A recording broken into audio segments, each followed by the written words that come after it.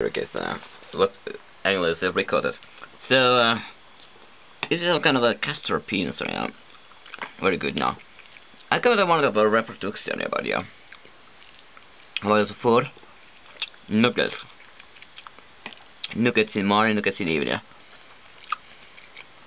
Something about the some kind of conclusion, yeah. Which I will talk about.